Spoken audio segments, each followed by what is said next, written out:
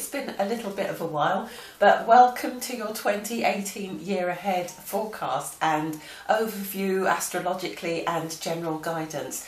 I really felt this strong need to reconnect with you because it's been such an intense year. And I just wanted to get you know just just get a feeling of what sort of year you've had this year. So write me a comment underneath um, the video and just connect just reconnect. Let me know you're out there. Say hi. Um, let me know uh, how the video resonates for you. I appreciate and love all of those communications with you. And um, and also let's look ahead to 2018 which is going to be another powerful year. I feel very very strongly um, guided to say that this all these shifts and changes that are happening as we know are pulling us onto the right path they're pulling us into our power. They're taking us out of situations or ways of seeing things that are disempowering.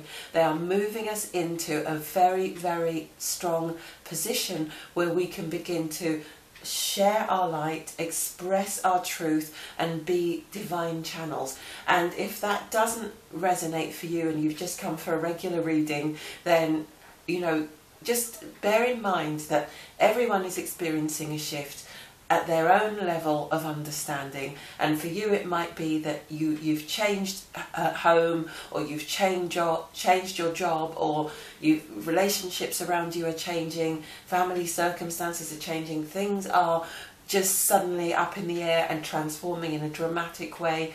And um, and you're wondering why why things are changing. And maybe you've come here because you're looking for answers Maybe things just seem very smooth for you, but you're finding that people around you are having awakenings or their lives are changing or things are, are, seem quite dramatic. Anyway, this video is for anyone who has come looking for guidance for the year ahead in the context of all of these shifts and changes that are happening to all of us. So I hope you enjoy the readings. I've been asked to focus on three main areas by my guides when it comes to the astrology the place that Saturn is leaving um, in the chart, the place that Saturn is moving into, and where Jupiter supports, uh, you know, the, the place of good fortune. So, where Jupiter is going to be. So, in some area for all of us, there will have been a maturing, there will have been a growing up, and that will have prepared the way for us to move into a, a deeper understanding of the next phase of our lives and that's what we're just about to move into now. And we want to also look at where we are going to be most fortunate in taking that learning on board and really flourishing and blossoming and growing our lives in 2018. So those are the three aspects we're going to be looking at, um, the three movements, the three elements that we're going to be looking at. And then I'm going to pull some cards, some of my favourite decks I'm going to be using. I'm going to be using my insight as well. And um, I also want to let you know my year ahead readings are available on my website. I'll leave a link under the channel. I might be doing some exciting and interesting things on Facebook Facebook Live as well soon, long promised, and I'll leave a link under the video as well. And that's it. I would encourage you to check your ascendant as well because I'm going to be looking at things very much on a house by house basis. So it's going to be very important for you to be working from, you know, your ascendant as well as from your sun sign. So I think that's everything. Have a fantastic year. And if you're watching this before the year is over, I hope you're having a great Christmas or whatever you celebrate at this time of year. I hope you're having a great one of those. Have a fantastic holiday season and have a nice break, hopefully. And yeah, wishing you all the very best for the coming year ahead. Come back to this video and watch it as often as you like. And um, yeah, as I say, keep the uh, dialogue going. Let's comment, you know, share um, ideas and, and um, feelings about the times that we're going through and how we're shifting and how we're changing and evolving and what you actually currently believe about where we're moving to. Do you still believe that um, peace is possible? Do you still believe in utopia? Do you still believe that your life is moving in a positive direction? And is there anything that I can help you with? Okay, so yeah, that's quite a lot for now. Enjoy, take care, peace and I'll speak to some of you soon. Bye. Lovely Geminis, um, welcome to your 2018 year ahead video. So I just want to say thank you so much for all of your support, all of your um, comments. You've been one of the signs that have been really supportive, so I hope you really enjoyed this reading. I hope you have a fantastic 2018. You've got Saturn moving from your seventh to your eighth house. So you've had a big growing up in the area of partnerships generally over the last few years. Um, you've had to change your ideas about what you think a partnership is, maybe what you think a marriage is, maybe how you um, self partner, you know, what you think of yourself, how you view yourself, how you present yourself in the world, um, what your understanding is of who you are. Um, it can even be a, a place where you learn about self love for the first time. So you've had to really grow up and develop in those areas, which means that you could. I mean, I know Geminis, for example, quite often like to be they like to be free they like to not have any boundaries they like to not necessarily be tied down to any particular situation. You might have found in recent years the last few years that you've actually found a person a partnership a collaboration that you feel so good about that you've actually, even though it's been really tough for you to do the growing up and to see it and to appreciate it for what it is, you might have come, now that you're coming to the end of that Saturn cycle, you might have come to the understanding that actually sometimes you have to work on things in order to make them work. Some things are actually worth working on, and therefore, if you are to commit, it's up to you to play your part in making it possible for you to stay committed, if that makes sense. So it's been an interesting year. For some of you, it won't have been about personal relationships at all. It will be, will have been about how you partner with people generally, and that can even extend to groups. How you partner in groups, how you work together with people, how you collaborate, how you you know what you are like in a in a situation where you come together with another person or another place, being, entity, situation, um, and all of that has been under the microscope and you've had to grow up an awful lot around those areas. So now that you've done that, you've got Jupiter moving, in, uh, Saturn, sorry, moving into your eighth house. So it's going to be very much about deepening your trust in certain situations. So you've had to learn how to trust yourself, how to self-partner, how to trust partnerships in general, in general. And now you're over the next few years Saturn is going to be teaching you about boundaries, about how to stay um, strong within yourself in those situations.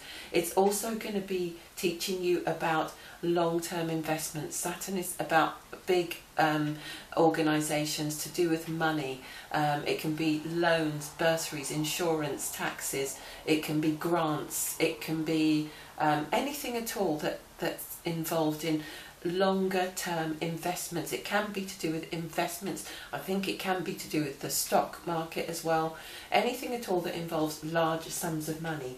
So you're going to be learning in this area as well. And for some of you, it might be that you've never had a large sum of money that you've um, had to know how to manage or it could be that you've just you know i'm not saying everybody's going to come into money everyone who's a gemini but it could just be that you are going to learn how to manage and handle your money in a way that supports your long-term security um, in a much more grown-up sort of way and you've got jupiter moving from your um, fifth to your sixth house. So Jupiter was expanding your heart, your ability to love, your sense of uh, joy in your creativity.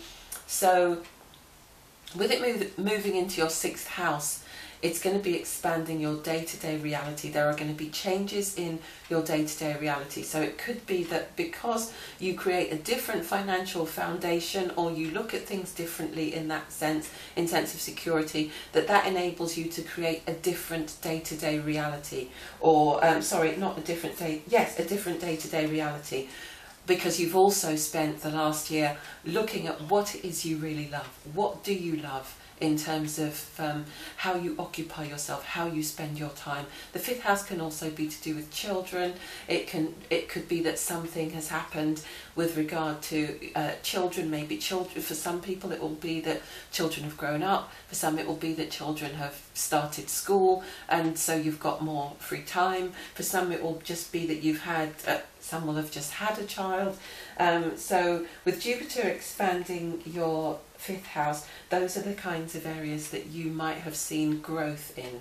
So, where it comes to creativity and learning about what you love, it could be that you now know how you want to spend your day to day life what you want to do. It could be that you know for certain now. You weren't sure, but you spent last year experimenting with your your artwork or your music or your um, theatre work or writing poetry or I don't know interior design, something creative, and now you're coming into 2018 and you've decided I definitely want to make this my job now. I want this to be my day-to-day reality because the sixth house rules work. Um, it also rules fitness, so you might feel, okay, now I know what I want to do creatively. I need to look after my body in order to facilitate that, in order for me to do that and to do it to the best of my ability and to really enjoy doing it. So that is really exciting, Gemini. And the next few years with Saturn in that um, in that eighth house, you're going to be really looking at ways, it's going to be very grounded. Your creative work will be very grounded in looking at how it ties in with your long term security. So it's great, it looks really good. And I'm being drawn to the colour cards, the secret language of colour cards for you, which is very interesting because I've got, um, I've got my tarot deck here, I've got my um, Archangel cards here and I'm sort of using all three but as I feel guided and for you it's all about colour so let's see what colours you've got. I'm just going to look at an overall colour. No they're saying um, past present and future. Okay. So discover your sparkle. That's what you've been doing in the last year. You've been rediscovering your sparkle. How perfect is that? Because that's absolutely what we do when we um, reconnect with our hearts, when we we spend time with our children, or when we really, really, really get involved in an exciting creative project, or we reconnect with our our own creativity. Okay, and that's what that year has all been about for you. And here you are now awakening your passion, which is absolutely lovely.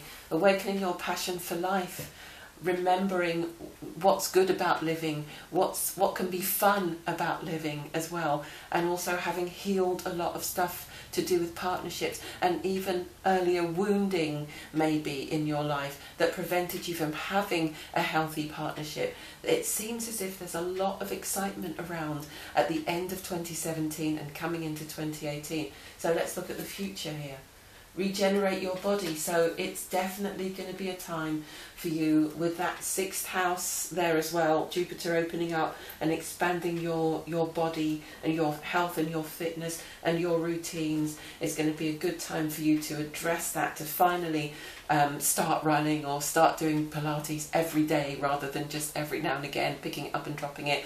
You know, it's going to be a great time for you to actually develop those routines. So I'm going to look now at the beginning, middle and end of 2018 for you using the Archangel guidance cards and uh, what does Gemini most need to know about 2018 and their potential for joy, happiness and good fortune. Okay, so we've got beginning, middle and end of the year and I'm going to choose one card from the Psychic Tarot um, by John Holland just to give you an overview of 2018 and uh, guidance rather than prediction. Okay, so the beginning of the year. We come into the beginning of the year with you knowing, we've got claircognizance. We're coming to the beginning of the year with you knowing what's right for you, knowing what you want, knowing how you feel about things, knowing how you feel about certain people, knowing what the potentials are. And you're being reminded here, the card says, pay attention to thoughts and ideas that come to you as they are answered prayers. So there will be thing, changes that need to be made in the year ahead that are going to make life even more um, it just more ideal to make things flow better. They're saying tell them systems, new systems that need to be integrated, new ways of managing your work, new ways of managing your creativity and your time. Your creative time around work, new ways of managing systems within your home. Maybe you want to change, you know, your workspace around, change your home around a little bit, um, redecorate, reorganize, just just move things around to make them uh, the optimal um, structure, to create the optimal structures for you to be efficient and to be even happier, to be happy with the choices and the knowing that you've developed in the past year. So that's the beginning of the year, the first few months of the year you're going to spend doing that. You'll be very active as well, you know, continue everything that you've started, continue looking at those changes in routines, health routines, but make things, you know, you know what to do. Pay attention to the impulses and the insights that you're getting, the intuition, because they're, they're going to really help you. They're coming to you for a reason. Outdoors, okay, so the middle of the year. So you're coming more into a period sort of over the spring and the summertime where you're going to be wanting to bring what you've got out into the world much more. It's not just going outdoors. Going outdoors is great. Going out into into nature is going to be good for you to recharge, rebalance, reconnect, feel healthy and strong again. But it's also about going out into the world with what you've got. Don't stay stuck in a room being creative or feeling it's all about practice. It's all about um, making it, you know, making the art, or it's all about just being sort of curled up with that lovey-dovey person. Make sure you're out in the world experiencing things and sharing your creativity, um, you know, spreading your love, being, feeling, bringing that excitement, bringing that joy to share it with others who don't have that. And so, and the message says, um, go outside, get some fresh air, connect with nature to relieve stress and gain new creative ideas. So if you do feel blocked at all creatively, remember that you do need to reconnect constantly with, with other people, with the outside world, um, and with nature for inspiration.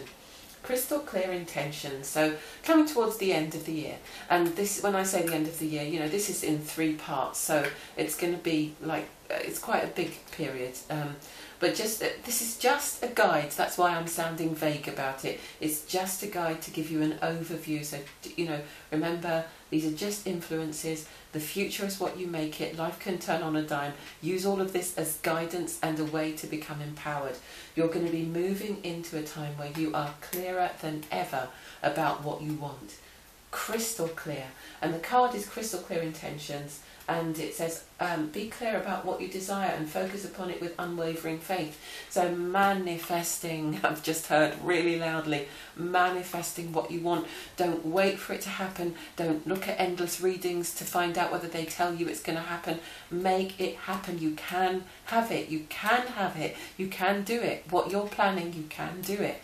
Okay? For some of you it's going to be creative in a completely different way but it's going to be, you know, don't let anything stop you. Don't let anything stop you. Don't let anything hold you back. When you have that passion in your heart to give something to the world, you've got to get it out there. If you don't get it out of you, it doesn't feel good. Okay, your overall card for the year. Oh, transformation. What could possibly be better than that? Your life has transformed, Gemini in a miraculous way over the last few years and it's been a slow learning and maturation so you might not have noticed it changing but if you look back you will see that you are not the person you were a few years ago when that Saturn transit started and you now have everything to go for everything to go for. So go for it in 2018. Have a fantastic year. Let me know what you think of this. If it resonates, comment. I love to hear from you. You know how, you know, I love all the signs, but Geminis have been really lovely and special. Um, Geminis, Virgos, Sages, a few other signs have been really um, supportive of this channel. So, have a great year. If you want to have a personal reading with me. I'll leave the link under the video. I've got my personal year ahead readings up now and they will go into much more detail for you personally, looking at your energy, your unique situation and you know just giving you the best insight to plan things ahead and any guidance and any questions that you have further to this.